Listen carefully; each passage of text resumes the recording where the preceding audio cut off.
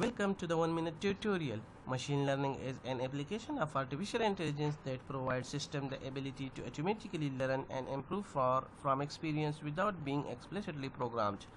Machine learning focuses on the development of computer programs that can access data and use it to learn for themselves. It is a method of data analysis that automates analytical model building. It is the branch of artificial intelligence based on the idea that system can learn from data, identify patterns and make decisions with minimal human intervention. Machine learning is a branch of artificial intelligence that focuses on building applications that can automatically and periodically learn and improve from experience without being explicitly programmed. Machine learning is used in internet search engine, email filters to sort out spams, website to make personalized recommendation, bank software to detect usual transaction and lots of applications on our phones such as voice recognition.